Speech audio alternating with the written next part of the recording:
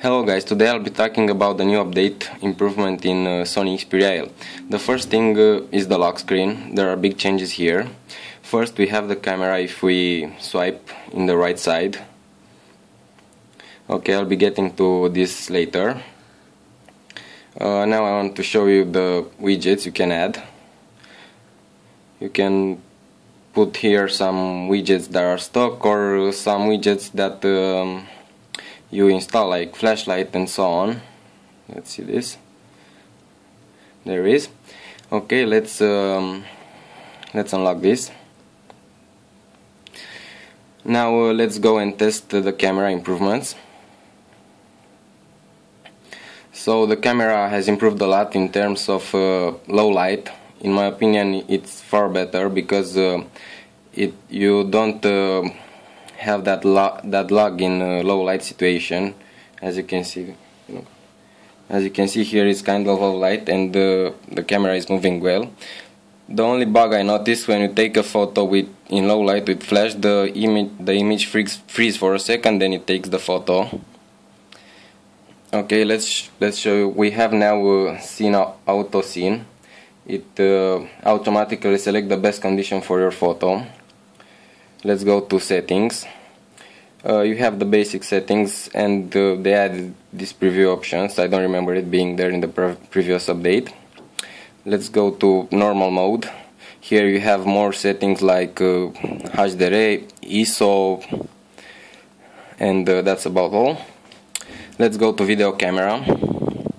In video camera there are the basic updates and the only thing uh, I see improved here is the video blinking issue is gone when uh, the phone focuses on the light and the focus is right uh, wrong sorry.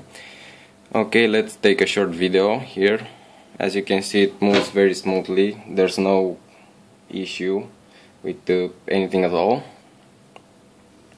You also have the new burst, burst option. Uh, you have to keep pressing this button here and uh, it will automatically take as many pictures as you want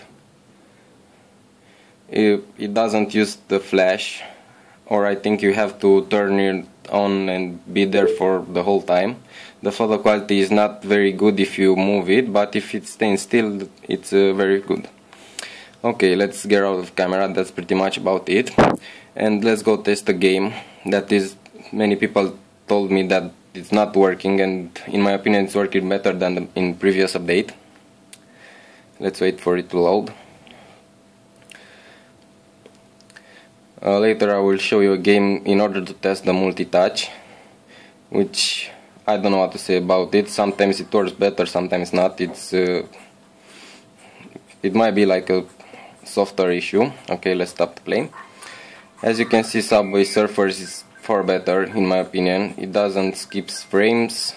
You don't have any little lag anymore. It's just perfect. And remember that I'm on stock without any overclock of CPU or GPU.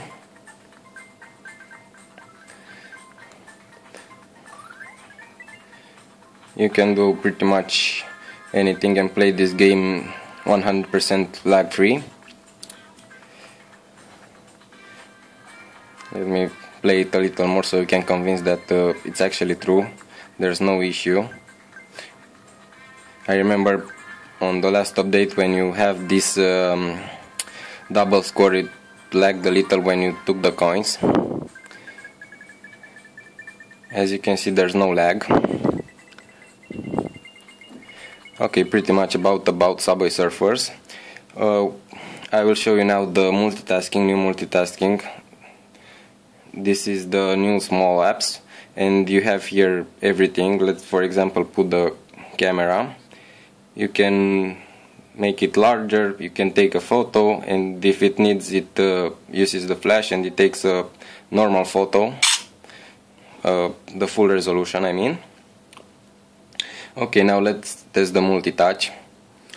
Uh, I have the, here hardest game ever 2 and I will play a level that it requires multi-touch. Let's see here okay you have to press simultaneously two or three buttons.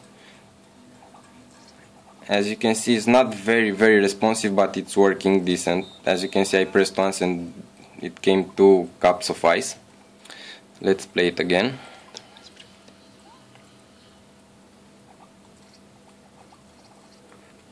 And it's working let's say about 80% or something like that